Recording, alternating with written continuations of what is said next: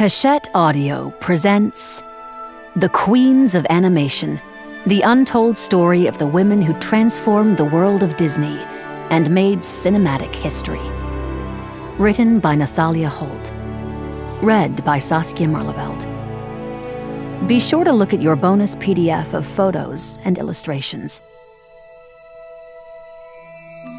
For My Happily Ever After, Larkin, Eleanor, and Philippa.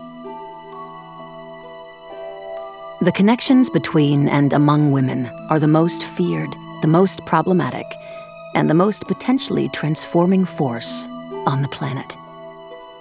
Adrienne Rich, On Lies, Secrets, and Silence, Selected Prose.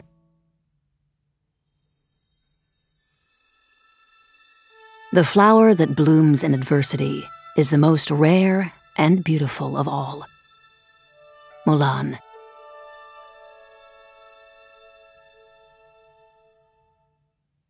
Preface When you are six years old and Cinderella arrives at the ball, you might put on a tutu and a tiara.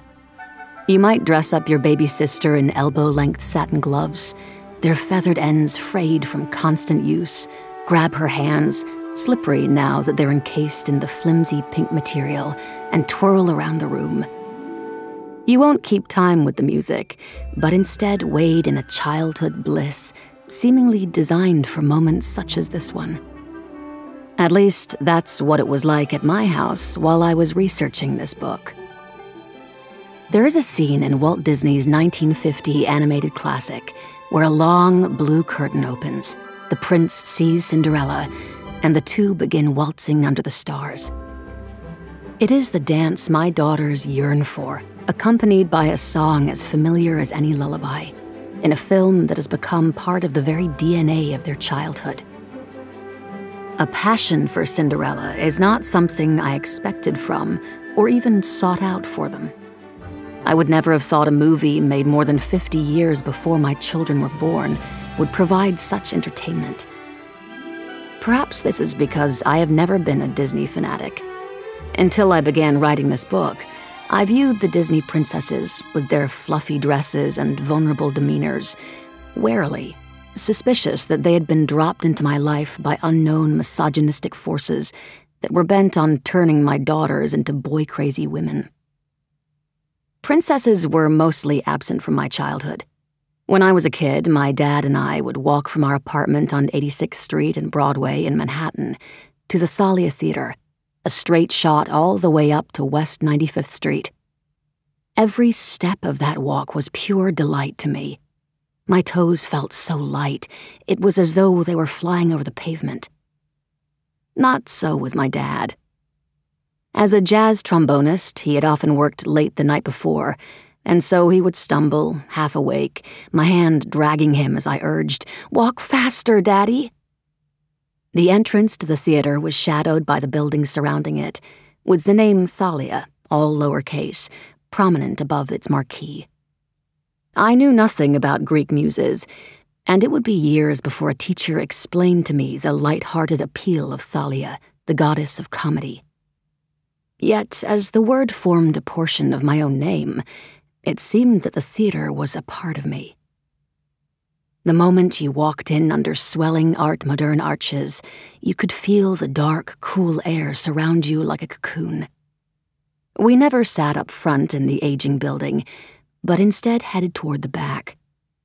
Because of the theater's odd dipping floor, a reverse parabolic design, my dad said the view was better there. As the room became dark and the projector hummed its happy working song, I could feel the excitement building in me. In the summers, the Thalia Theater played cartoon marathons, hours of Walter Lantz, Ub Iwerks, Tex Avery, and Chuck Jones, Friz Freleng's Warner Brothers classics, Mickey Mouse and Silly Symphony shorts, and even some silent black and white Felix the Cat shorts from the 1920s.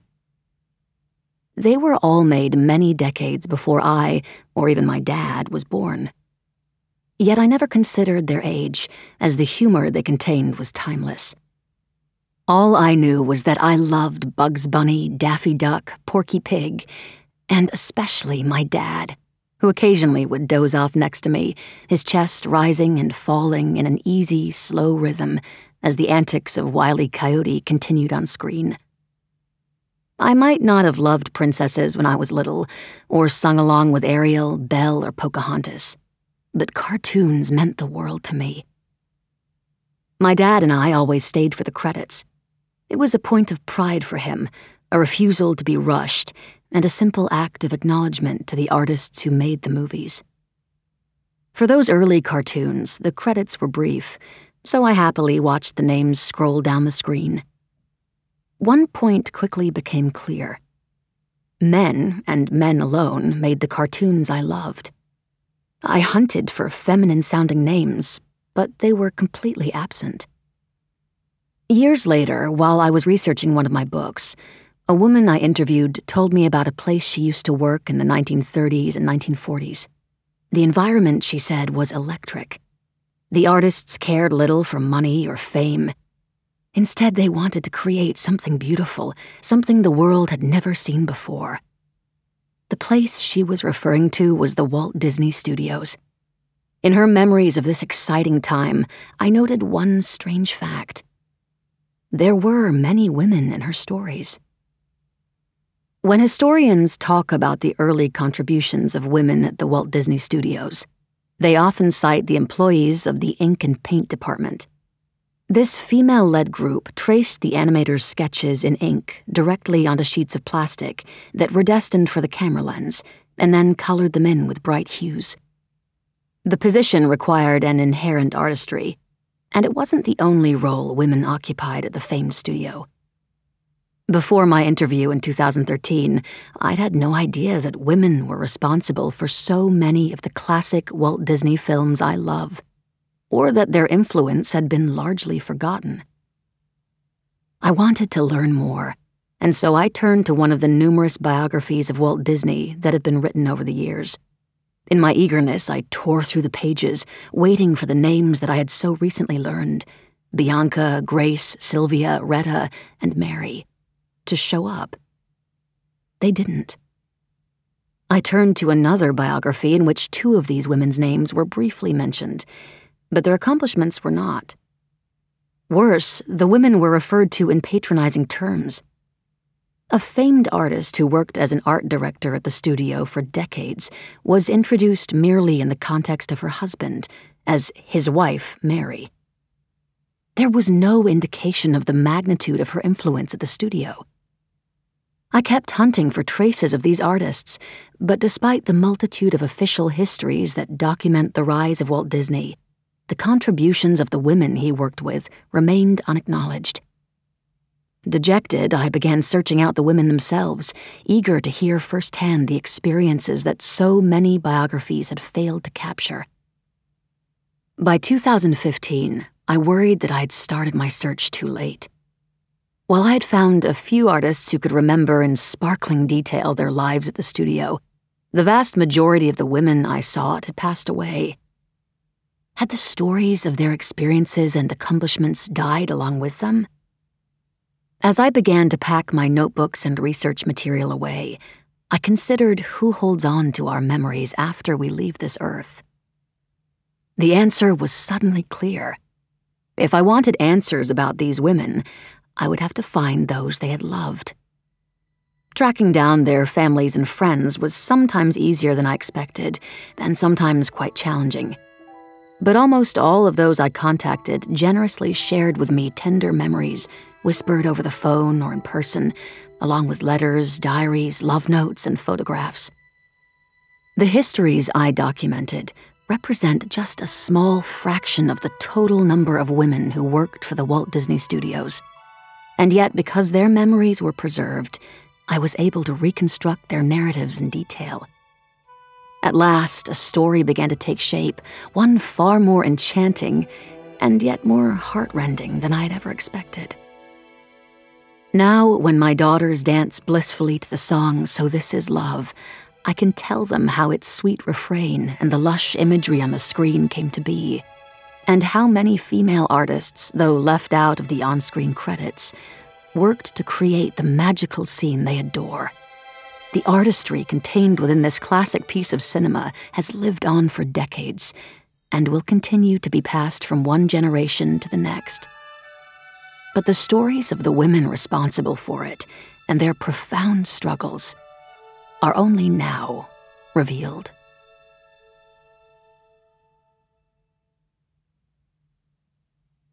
Chapter 1 One Day When We Were Young.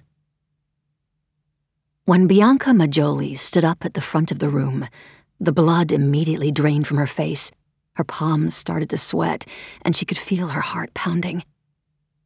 Bianca took a deep breath and opened her mouth to speak, but no sound came out. Her mouth felt dry and gritty, as if her saliva had given up and left to hide in the pit of her stomach. It was January 25th, 1937, and Bianca wished she could hide too. She had worked for the Walt Disney Studios for two years, and she dreaded nothing more than the story department meetings where the writers pitched their ideas in front of the group. It was not due to a lack of talent on her part. Bianca's characters and lively plots were destined for the silver screen. Nor was it her shy personality. When necessary, her soft spoken tone gave way to the loud, booming voice of one passionate about her work. The problem stemmed from the fact that she was born a woman in a world that wanted men. She skipped as many of the meetings as she could, her excuses ranging from mundane claims of illness to fantastic tales of car accidents, complete with shattered glass sprinkled across the highway and the smell of burned rubber. Her alibis were mostly unnecessary. There was no obligation to attend a meeting unless you were the one pitching. When it was her turn to share her ideas with the group, she approached the matter as she would swimming in the chilly Pacific Ocean. Better to just get it over with, plunge into the waves headfirst, and let the cold water numb your body. On this January day, however, the room felt colder than the Arctic. Everyone knew that Snow White was Walt's darling, and the hapless writer who suggested changes to one of its scenes, even if necessary, was certain to incur the wrath of the room. As Bianca stood there in silence, she could hear light-hearted laughter outside the windows, and for a moment she imagined she was one of the women on the other side of the glass, relaxing on the lawn without a care in the world. I could be like them, she thought. All I have to do is leave. At the Walt Disney Studios, it was not enough to simply have an idea or even write a script. In the story department, you had to stand up in front of your colleagues and act it out.